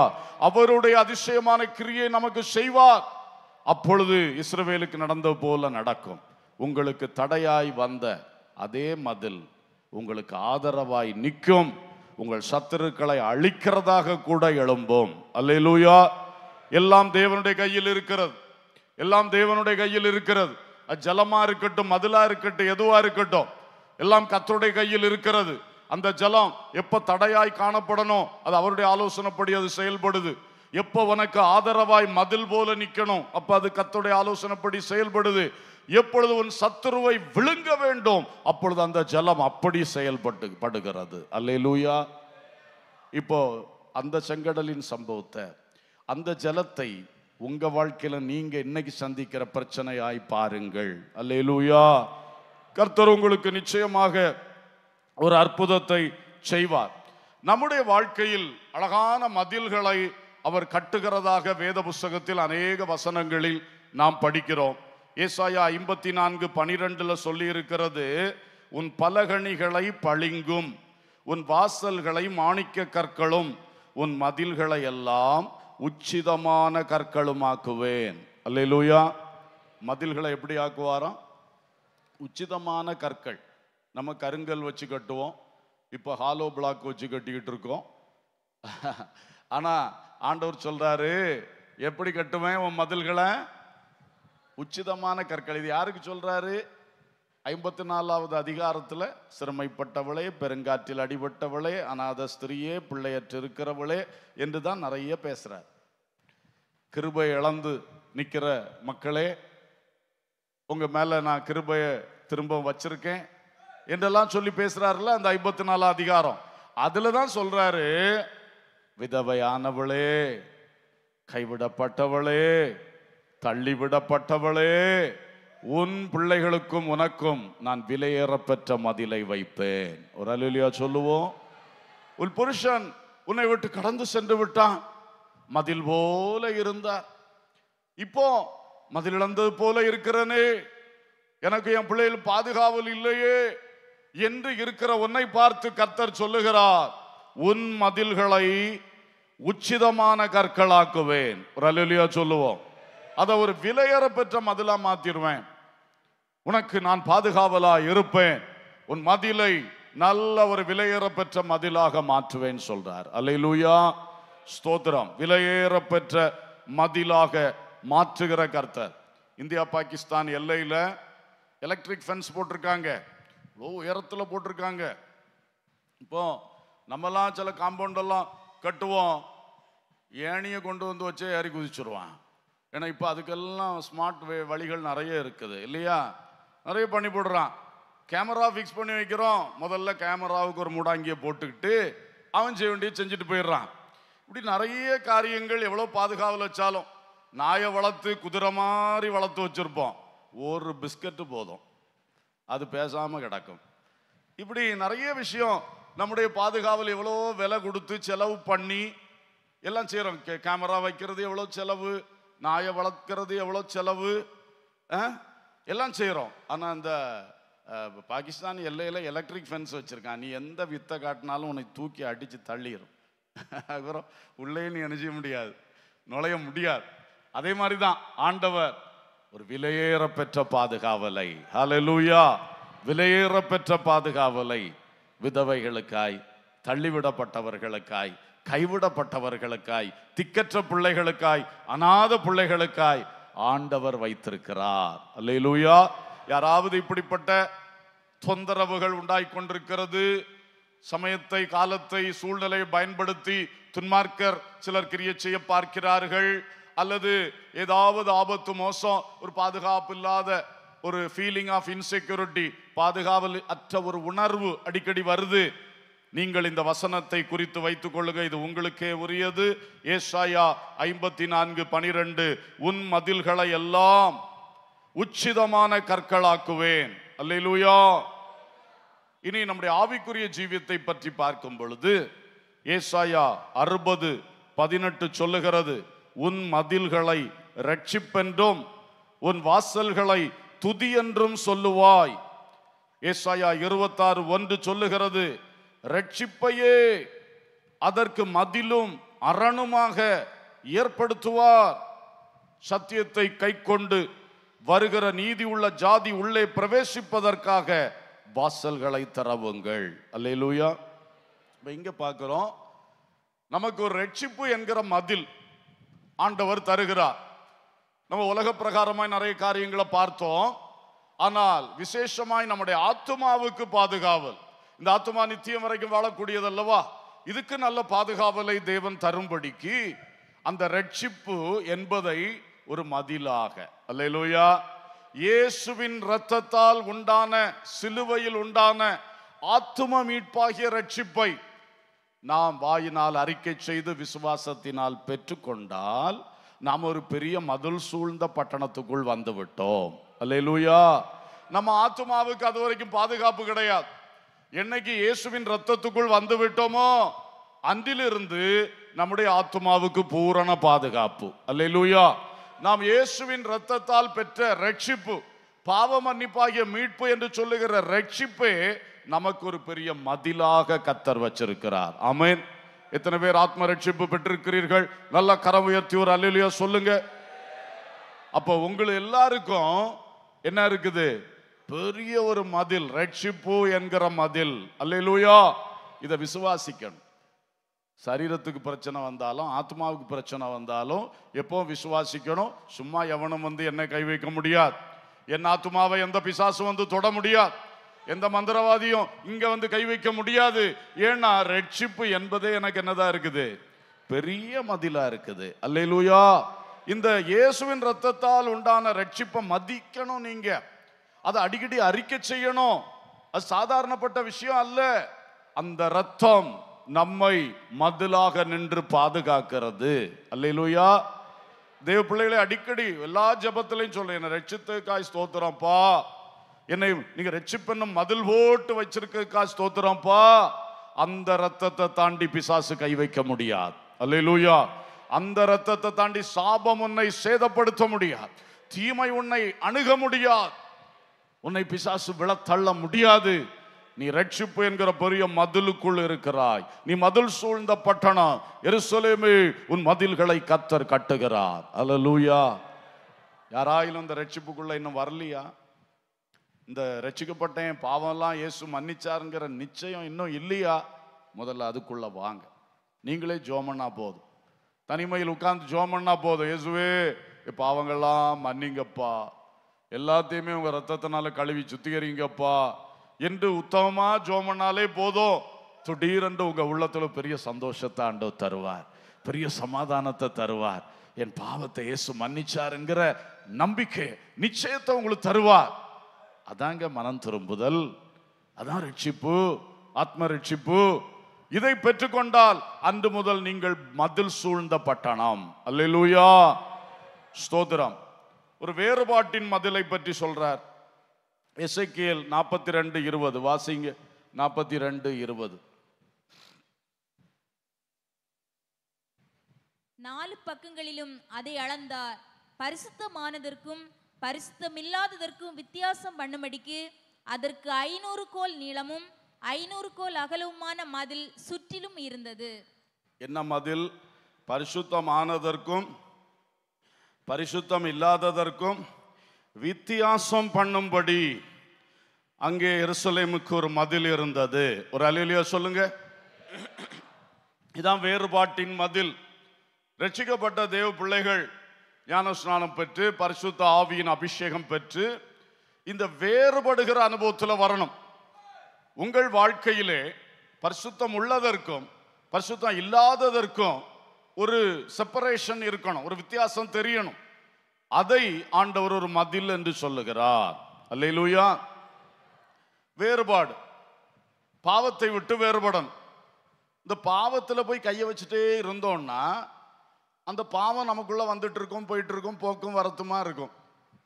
அதுக்கு ஐட்டத்தை கொண்டு வரும் நம்மகிட்ட இருக்க நல்லதை வெளியே கொண்டு போவோம். எல்லாம் செய்யணும் மதில் இல்லை. வேறுபாடு என்கிற மதில் இல்லை. இது பாவம் இது எனக்குள்ள வரக்கூடாது இது பரிசுத்தம் இது மட்டும் இங்க நிக்கணும். இந்த பரிசுத்தம் என்னை விட்டு வெளியே போயிடக்கூடாது. பரிசுத்தம் வெளியே போகாம காக்கிறதுக்கு பரிசுத்தம் இல்லாதது உள்ள வராம காக்கிறதுக்கு தான் ஒரு மதில். ஒரு சொல்லுவோம். இன்னைக்கு இந்த வேறுபாடு என்கிற விஷயத்துல அநேக கிறிஸ்தவர்களும் அநேக பெந்தகோசுக்காரர்களும் ரொம்ப தோல்வி அடைந்து போய் கொண்டிருக்கிறீர்கள். வசனத்துல எது சொல்லியிருக்கோ அது நமக்காக சொல்லப்பட்டது. அல்லேலூயா.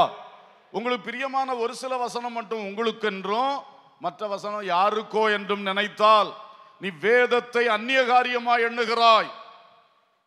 வேதத்தை அந்நிய காரியமாய் எண்ணினால் உன் பிள்ளைகளை மறந்து விடுவேன் என்று கத்தர் எச்சரித்திருக்கிறார். அல்லேலூயா. அதனால வேதத்தில் சில வசனம் மட்டும் நீ உனக்குன்னு எடுத்துட்டு சில வசனம் கண்டுக்காம கண்டுக்காம. இது பெரிய தப்பு. நீ வேதத்தில் சொல்லப்பட்டிருக்கிற பூரண சப்- சுவிசேஷத்தை சத்தியத்தை ஏற்றுக்கொள். ஹலலூயா அப்ப வேறுபாடை பற்றி என்ன சொல்லியிருக்கு? பாவ பாவத்தை விட்டு விலகு. துரு உபதேசங்களை வேத புரட்டுகளை அந்த ஆட்களை விட்டு விலகு. விக்கிரகங்களை விக்கிரகம் சார்ந்த எல்லாவற்றையும் விட்டு விலகு. சொல்லியிருக்கா இல்லையா? பாவிகளை விட்டு விலகு. துன்மார்க்கரோடு ஐக்கியம் வைக்காத. துன்மார்களுடைய ஆலோசனை நடக்காது. பாவிகளுடைய வழியில் நில்லாதே. பரியாசக்கார உட்காரும் இடத்தில் அந்த கம்பெனி அந்த ஐக்கியம் உனக்கு வேண்டாம். அந்த ஃப்ரெண்ட்ஷிப் உனக்கு வேண்டாம். உன் நல்லவர்கள் இல்லையா? ஜெபிக்கிற மக்கள் இல்லையா? உனக்கு ஃப்ரெண்ட்ஸா மாற்றுறதுக்கு. பரிசுத்தாவியில் நடத்தப்படுகிற பிள்ளைகள் இல்லையா? ஃப்ரெண்ட்ஷிப் வைப்பதற்கு. சிந்தியுங்க இதெல்லாம். இதனால தான் சிலருக்கு பெந்தகோசு கோயிலுக்குள்ள வந்திருந்தா கூட உங்களுக்கு மதில் இல்லாத வாழ்க்கையா இருக்கு. வேறுபாட்டின் மதில் இல்லை. சிந்தித்து பாருங்க எதை விட்டு விலகணும்னு வேதம் சொல்லுகிறதோ அதை விட்டு விலகுங்கள். அல்லேலூயா. உலக சிநேகம். உலக ஆடம்பரம். உலகத்தினுடைய சிற்றின்பங்கள். இதெல்லாம் விட்டு விலகுன்னு பைபிள் தெளிவா சொல்லுது. நீ ஒரே நேரத்தில் இயேசுவாகிய எஜமானுக்கும் உலக பொருளாகிய எஜமானுக்கும் சேவை செய்ய முடியாதுன்னு பைபிள் சொல்லுது. அப்போ ஒரு கையில் இயேசு வேணும் ஒரு கையில் உலக பொருள் வேணும்னா எப்படி நடக்கும்? உலக பொருள் வேண்டாம். உலகம் என் பின்னே இயேசு என் முன்னே. அந்த தீர்மானத்துக்குள்ள வரணும். இயேசு இந்த உலகத்தில் எதை அனுபவிக்க தர்றார்? அதை மட்டும் எனக்கு போதும். இந்த உலகத்தில் நான் அனுபவிக்கிற எந்த ஒன்றும் இயேசுவை விட்டு என்ன பிரிக்கக்கூடாது. இயேசுவின் அன்பை விட்டு என்ன பிரிக்கக்கூடாது. இதில் தெளிவாக இருக்கணும். கொஞ்ச கால வாழ்க்கை இங்கே உலகத்தை அனுபவிச்சுட்டு கடைசியில் அக்னி கடலில் போய் அக்னி அனுபவிக்கிறதுக்கா? சிந்திக்க மாட்டீர்களா? அக்னி எவ்வளோ பயங்கரமானது. அங்கே சதா காலமும் வாதிக்கப்படுவார்கள் என்று மாறாத வேத வசனத்தில் எழுதி வைக்கப்பட்டிருக்கிறது. அல்லை லூயா சொன்னது அப்படியே நடக்கும். அப்போ ஒரு முப்பது வருஷம் ஒரு இருபது வருஷம் உலகத்தை அனுபவிச்சுட்டு நித்திய நித்திய காலமா சதா காலமும் வாதிக்கப்படுகிறது. அக்னியும் கந்தகமரி கடலிலே வாதிக்கப்படுகிறது. அதுக்காகவா இந்த ஓட்டம் ஓடுகிறோம்? இந்த உலகம் வேண்டாம் உலகத்துடைய பொருள் குப்பை. நான் ஆடம்பரம்னு ஆசைப்படுறது குப்பை. அந்த சிந்தை வரட்டு. ஒரு சரியான வேறுபாட்டின் மதில் இன்றைக்கு கத்தர் உங்கள் வாழ்க்கையில் கட்ட விரும்புகிறார். உங்க ஃப்ரெண்ட்ஸ் யாரு? உங்க அதிக லைக்கு விருப்பம் எது? சிந்திச்சு பாருங்க. இன்னைக்கு அதுல எல்லாம் ஆண்டவர் பரிசுத்தத்துக்கும் பரிசுத்தம் இல்லாதவருக்கும் நடுவிலே ஒரு மதில் கட்ட விரும்புகிறார். அல்லேலூயா எருசலேமின் மதில்களை கட்டுவீராக. ரட்சிப்பு என்கிற மதிலை கட்டும் ஐயா வேறுபாடு என்கிற மதிலை கட்டும் ஐயா ஸ்தோத்திரம். ஏ ஏசாயா அறுபத்தி ரெண்டு ஆறு சொல்லுகிறது. எருசலேமே உன் மதில்களின் மேல் பகல் முழுதும் ரா முழுதும் ஒரு காலம் மௌனமாயிராத ஜாமக்காரரை கட்டளையிடுகிறேன். ஒரு அலுலியா சொல்லுவோம். இந்த மதில்கள் பாதுகாக்கப்படணும்னா மதிலுக்கு பலம் கொண்டு மட்டும் போதாது. சில ஜாமக்காரர்கள் தேவை. இந்த மதிலுக்கு எதிராக எவன் வர்றான். இந்த பட்டணத்துக்கு எதிராக எவன் வர்றான். எங்கேருந்து வர்றான்? எப்படி வர்றான்? இந்த வெளிப்பாடு பெற்ற தேவ மக்கள் ஜெபிக்கிற தேவ மக்கள். இது தேவை. உண்மையில் நாம் ஒவ்வொருவரும் பரிசுத்தாவியை பெற்றுக் கொண்டிருக்கிறோம் என்றால் நாமே ஜாமக்காரர்கள். அல்லேலூயா. நமக்கு ஜாமக்காரன் யாரு? சொல்லுங்க. நாமே. நமக்கு ஜாமக்காரன் யாரு? இன்னொருக்கா சத்தமா? வேற ஒரு அவர் நமக்கு ஜாமக்காரரா இருப்பார். இவர் நமக்கு ஜாமக்காரரா இருப்பார். நீங்க நினைச்சிட்டு இருங்க. அவர் உங்களை ஜாமங்காக்கு தான் அவருக்கு வேலை இப்போ. அவருக்கு நினைவு. அவர் வேற வேலை இல்லையா? சும்மா யாரோ புருடா விட்டான்னா நம்பிராதீங்க. புரியுதா? நமக்கு யார் ஜாமக்காரன்? சத்தமா சொல்லுங்க. ஆமாம் அதுக்கு பிறகு இயேசு நமக்காய் பரிந்து பேசுகிறார். பெரிய ஜாமக்காரர். பரிசு தாவியானவர் நமக்காய் பரிந்து பேசுகிறார். அவர் பெரிய ஜாமக்காரர்.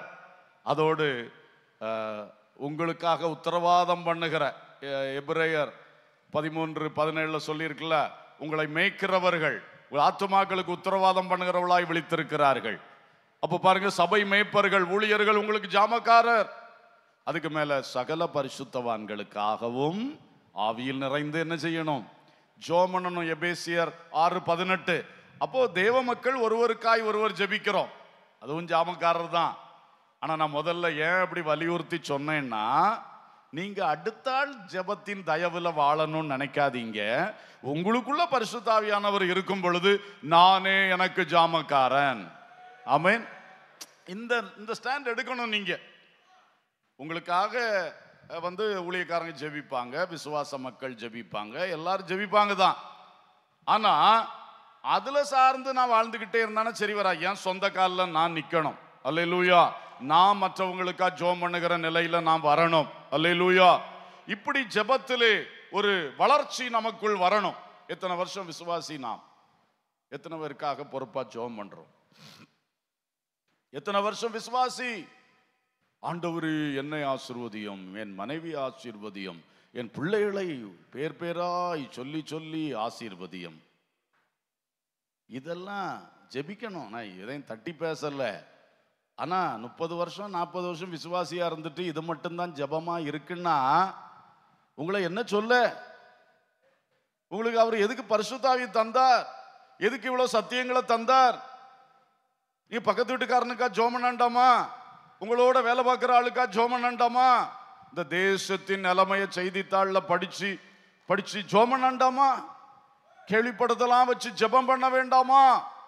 உத்தரப்பிரதேசத்திற்காய் திறப்பில் நின்று மன்றாட வேண்டாமா? உன் மதில்களின் மேல் ஜாமக்காரர்களை கட்டளையிடுகிறேன். அல்லேலூயா. இன்னைக்கு ரட்சிப்பை கட்டி எழுப்புகிறார் ஒரு மதிலாக வேறுபாட்டை கட்டி எழுப்புகிறார் ஒரு மதிலாக. அதோடு உங்க ஜப ஜீவியத்தை அவர் கட்டி எழுப்புகிறார் ஒரு மதிலாக. அல்லேலூயா. அதனால நீங்க எல்லாரும் நம்ம நம்ம சபையில வரக்கூடிய அபிஷேகம் பெற்ற எல்லாரும் இதில் முன்னணியில் தான் நிற்கணும் அதனால் மற்றவர்கள் ஜோம் பண்ணக்கூடாதுன்னு சொல்லலை. நீங்களும் ஜோம் பண்ணணும் ஆனால் அது ரொம்ப முக்கியம். ஆவியை பெறும் பொழுது ஆவியானோட நடத்துதலோடு அவர் பலத்தோடு ஜெபிக்கலாம். அல்லேலூயா. ஓகே. அடுத்ததாக ரெண்டு காரியத்தை சொல்லி நிறுத்திடலான்னு பார்க்குறேன். சங்கீதம் ஐம்பத்தி ஒன்று பதினெட்டு மறுபடியும் சொல்லுகிறேன். எருசலேமின் மதில்களை கட்டுவீராக. யார் கட்டணும்? இந்த இடத்துல அந்த பாயிண்ட சொல்ல விரும்புகிறேன் யார் கட்டணும்? ஐயையோ பைபிளை பாருங்க. பார்த்து சொல்லுங்க. யார் கட்டணும்? ம்? நல்ல பைபிள் குவிஸ் எல்லாம் பரிசு வாங்குறவர்கள். இந்த வசனத்தை பார்த்து சொல்ல தெரியலையே. யார் கட்ட வேண்டும்? கர்த்தர் கட்டணும். ஐயோ ஐயோ.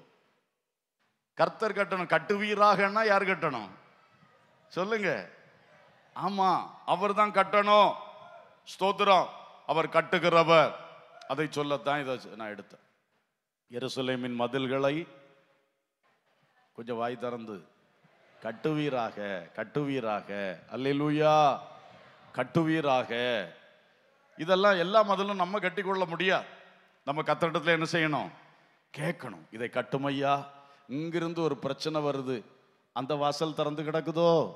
அங்கே ஒரு திறப்பு கண்டுருச்சோ? மதில்ல. கீறல் விழுந்துட்டோ? அப்பா அதை கட்டுவீராக. ஒவ்வொன்றுக்காக ஜெபிக்க ஜெபிக்க கத்தர் ஓட்டையெல்லாம் அடைச்சி திறப்பெல்லாம் அடைச்சி அழகா மதில்களை பலப்படுத்துவார். அல்லேலூயா. இன்னொன்று தெரியுமா? ஏசாயா நாற்பத்தி ஒன்பது பதினாறு சொல்லுகிறது இதோ என் உள்ளங்கைகளில் உன்னை வரைந்திருக்கிறேன். உன் மதில்கள் எப்போதும் என் முன் இருக்கிறது. அல்லையிலையா சொல்லுங்க. கர்த்தர் ஒரு பெரிய சிசிடிவி கேமரா கர்த்தர் ஒரு பெரிய சர்வைலன்ஸ் கேமரா மாதிரி. அவர் முன்னால எப்பவும் மதில்கள் ஃபுல்லா தெரிஞ்சுக்கிட்டே இருக்குது. அல்லையிலோயா அவர் கட்டுகிறவர் மட்டுமல்ல காண்கிறவர். உன் மதிலை அவர் கண்ணு முன்னால வச்சு அப்படியே விஜிலண்டா பார்த்துட்டு இருக்கிறார் விழிப்பா பார்த்துட்டு இருக்கிறார் ஒரு பிசாசு அந்த மதிலுக்குள்ள வரக்கூடாது. ஒரு பொல்லாத ஆவி வரக்கூடாது. ஒரு தந்திரம் ஒரு சாபம் ஒரு பொல்லாத கிரிய ஒரு பாவம் ஒரு அசுத்தம் வரக்கூடாது.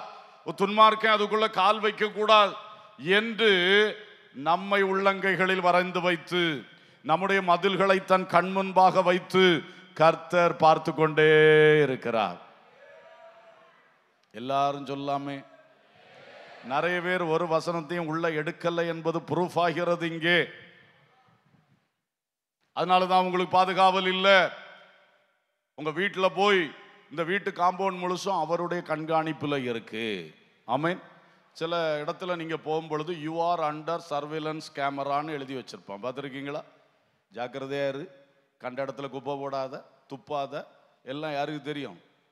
ஆ? போகக்கூடாத இடத்துல நோ என்ட்ரி போட்டிருந்தா போகாத நோ பார்க்கிங் போட்டிருந்தா அங்கே கொண்டு பைக்கை வைக்காத காரை விடாத. ஏன்னா you are under CCTV camera போர்டே வச்சுருக்கான். கத்தருக்கு ஸ்தோத்திரம். அப்போ பாருங்க நமக்கு இந்த விசுவாசம் வேணும். என் வீட்டில் மேலே எல்லாமே கர்த்தருடைய பார்வைக்குள்ள இருக்குது. இப்படி நீங்க சிந்திக்க ஆரம்பிச்சா தான் இந்த வசனம் உங்க வாழ்க்கைக்கு இறங்கி வரும். இல்லைன்னா இங்க ஏட்டு சுரக்காயா தான் இருக்கும்.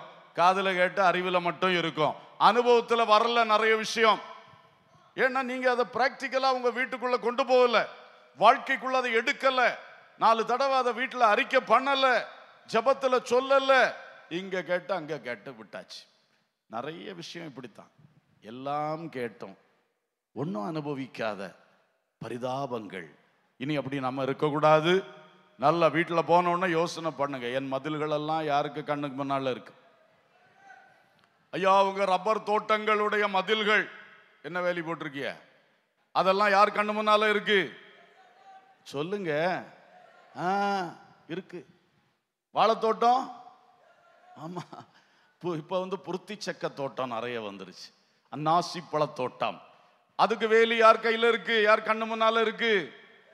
ஆ எல்லாம் எல்லாம் அப்படிதான். உங்கள் வீட்டு வேலி எல்லாமே. இதை நீங்கள் ப்ராக்டிக்கலாக இது பண்ணி இந்த வசனம். ஏசாயா நாற்பத்தி ஒம்பது பதினாறு. என்னை உள்ளங்கைகளில் வரைந்திருக்கிறார் என் மதில்கள் எப்போதும் அவருக்கு முன்பாக இருக்கிறது. இந்த ஒரு வசனம் போதுமே. எவ்வளோ பெரிய பாதுகாவல். ஹலலூயா ஸ்தோத்ராம் நூற்றி இருபத்தி ரெண்டு சாரி நூற்றி இருபத்தி ஏழு இரண்டு கர்த்தர் நகரத்தை காவாராகில் காவலாளர் விழித்திருக்கிறது விருதா. அப்போ அவர் கட்டுகிறார் அவர் கண்காணிப்பில் வைத்திருக்கிறார் அவர் காத்து கொண்டிருக்கிறார். அல்லேலூயா. இந்த மூன்று காரியங்கள் இந்த மூன்று வசனங்கள் ஆண்டவர் தந்திருக்கிறார். உனக்கு மதில்களை நான் கட்டுகிறேன். உன் மதில்களை என் கண்ணு முன்னால வச்சு கண்காணித்து கொண்டிருக்கிறேன். உன் மதில்களை நான் காக்கிறேன். ஒரு அலிலுயா இதை தயவு செய்து உள்ளத்தில் பதிச்சுக்கிடுங்க. உங்கள் வீட்டுக்கு உங்கள் வாழ்க்கைக்கு ஈவன் சரீரத்துக்கு எல்லாத்துக்கும் இது பொருந்தும். கர்த்தர் உள்ளங்கைகளில் வச்சிருக்கிறார். அமேன் நம்முடைய மதில்களை கட்டி எழுப்பி கொண்டே இருக்கிறார். அமேன் நம்முடைய மதில்களை கண்காணித்து கொண்டிருக்கிறார். டுவெண்ட்டி ஃபோர் ஹவர்ஸ் கண்காணித்து கொண்டிருக்கிறார். நம்முடைய மதில்களை பாதுகாத்து கொண்டிருக்கிறார். அல்லூயா ஸ்தோத்திரம். இன்னொரு அழகான வார்த்தை. இதெல்லாம் உங்க விசுவாசத்துக்காக கர்த்தர் நம்முடைய மதில்களை இன்றைக்கு கட்டி எழுப்பி கொண்டிருக்கிறார். அல்லலூயா. சகரியா ரெண்டாம் அதிகாரம் நான்கு ஐந்து வசனங்கள் பாருங்க. நீ ஓடி இந்த வாலிபனிடத்தில் சொல்ல வேண்டியது என்னவென்றால் எருசலேம் தன் நடுவிலே கூடும் மனுஷரின் திரளினாலும் மிருக ஜீவன்களின் திரளினாலும் மதிலில்லாத பட்டணங்கள் போல் வாசஸ்தலம் ஆகும். நான் அதற்கு சுற்றிலும் அக்கினி மதிலாய் இருந்து அதன் நடுவில் மகிமையாக இருப்பேன் என்று கர்த்தர் சொல்லுகிறார். ஒரு பலமான அல்லையா சொல்லுவோமா? எருசலேமுக்கு மதில் உண்டு. நம்ம படிச்சிருக்கிறோம். அந்த பதில்களை கட்டுவீராக என்று ஜோம் பண்ணதை வச்சு தான் நம்ம இப்போ பேசிட்டு இருக்கிறோம். ஆனால் உன்னில் ஜனம் பெருகும்போது அந்த மதிலெல்லாம் நிற்காது நீ கட்டின மதிலெல்லாம் நிற்காது எல்லாம் பெருகி போகும்போது மதில் இல்லாத பட்டணம் போல தான் எருசலேம் காணப்படும். பண்டிகை காலத்தில் திரளான மக்கள் வந்து கூடுவார்கள். அப்போ இந்த நீ கட்டின மதிலெல்லாம் ஒன்றும் பெரிய விசேஷமாக இருக்காது. அப்பொழுது நான் உனக்கு அக்கினி மதிலாய் இருப்பேன் ஒரு அலிலுயா அக்கினி மதிலாய் இருப்பேன் உன்னை சூழ. Fire wall fire wall protection தீக்குள்ளே ஒன்றும் வர முடியாது. நான் சொன்னல எலக்ட்ரிஃபை பண்ணியிருக்காங்க ஃபென்ஸை அது தீ தானே? என்ன? எலக்ட்ரிசிட்டி என்று சொல்ல என்னதுதான் ஒரு பயங்கரமான அக்கினி தான். அந்த அக்கினி பாதுகாப்பு கர்த்தரே நமக்கு அக்கினி மதலா இருப்பார் அல்லையிலூயா கொஞ்சம் இருக்கும்போது கைக்குள்ள வச்சு பாதுகாத்தி. நிறைய வச்சு. இப்போ உங்க கண்ட்ரோல்ல நிற்குமா நிற்காது ஒரு வேளை இருக்கும்போது அடிக்கடி போயிட்டு வந்தீங்க இப்ப கர்த்தர் நான்கு தோட்டங்களை தந்திருக்கிறார். டெய்லி அங்கேயே போய் கிடக்க முடியுமா உங்களுக்கு? முடியாது. பெருகும் பொழுது நம்ம கண்ட்ரோல் விட்டு போயிடும் ஆண்டவர் ஒரு குடும்பத்தை தந்தார் ஒரு பிள்ளைய தந்தார். இப்போ பிள்ளைகள் வளர்ந்து பேர பிள்ளைகள் ஆகி சந்ததி பெருகிருச்சு. எல்லாரோட டைரக்ட் கான்டாக்ட் கூட வைக்க முடியல. வெளிநாட்டிலையும் வெளியூர்லயுமா இருக்கிறார்கள்.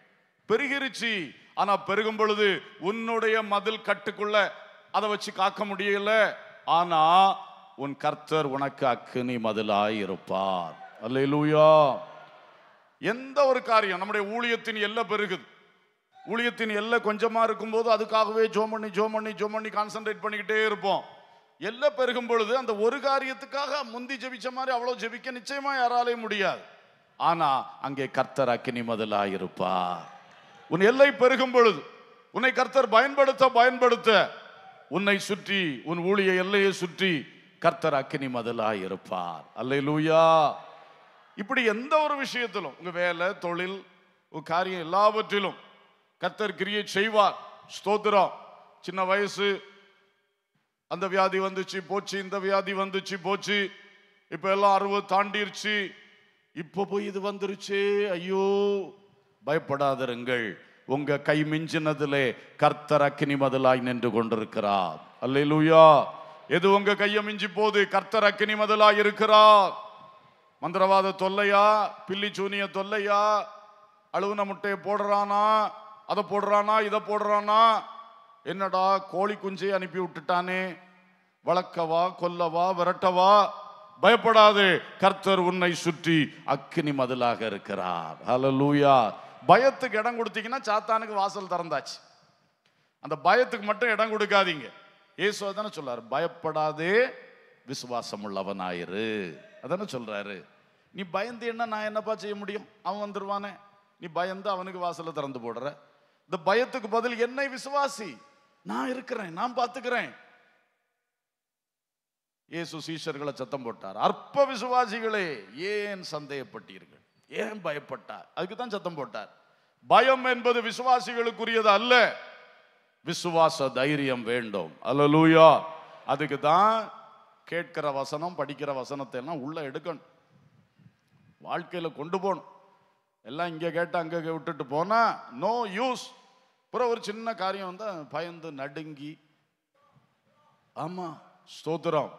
ஆகவே கர்த்தர் அக்கினி மதலாய் இருக்கிறார். அல்லேலூயா.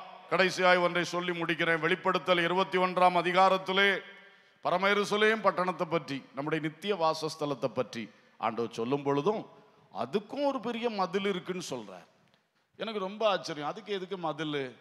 நீங்களே இருக்கீங்களாப்பா? ஒரு அங்கே எவன் வருவான்? ஆனால் அவர் வச்சிருக்கிறார். அது அவருக்கே வெளிச்சம். அல்லேலூயா! ஆனால் வச்சிருக்கிறார்.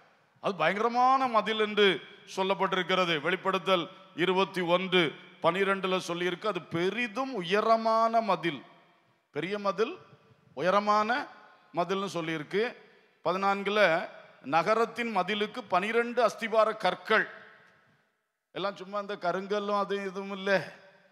எல்லாமே பயங்கர நவரத்தின கற்கள் விலையேற பெற்ற கற்கள். அதில் பன்னிரண்டு டைப்பான கற்கள் கொண்டு என்ன பண்ணியிருக்காராம்? அந்த மதிலுக்கு அஸ்திபாரமே போட்டிருக்காராம். ஸ்தோத்திரம். அந்த மதிலை அளந்தான் பதினேழாம் வசனத்தில். அளந்த பொழுது நூற்றி நாற்பத்தி நான்கு முழம்.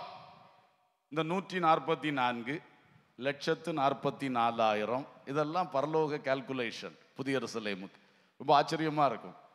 ஸோ இங்கே ஒன் ஃபார்ட்டி ஃபோர் அது வந்து one lakh forty four thousand எல்லாம் சிமெட்ரிக்காக இருக்குது பார்த்தீங்களா ஆண்டவருடைய ஆச்சரியமான காரியங்கள். அல்லையிலூயா ஸ்தோத்திரம். அப்புறம் அந்த மதில்கள் பதினெட்டாம் வசனம். அதன் மதில் வச்சிரக்கல்லால் கட்டப்பட்டிருந்தது. அல்லூயா வச்சிரக்கல்.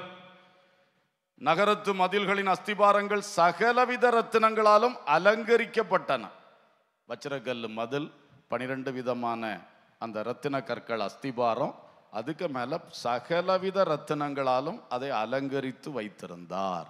அலலூயா அப்போ நம்ம இப்போ வாழ போகிற நித்திய நித்தியமா வாழ போகிற பட்டணம் மகா விலையேற பெற்றதான பாதுகாவல் நிறைந்தது. விசேஷித்த மதில் பாதுகாவலான மதில் அலங்காரமான மதில் அழகான மதில். அலையிலூயா அந்த மதில் சூழ்ந்த ஒரு பட்டணத்தில் தான் நம்மை கொண்டு போய் நித்திய காலம் அவரோடு வாழ வைக்க போகிறார். ஹலலூயா சோ நம்முடைய மதில்களை கர்த்தர் கட்டுவாராக என்ற வார்த்தையோடு நிறுத்துகிறேன்.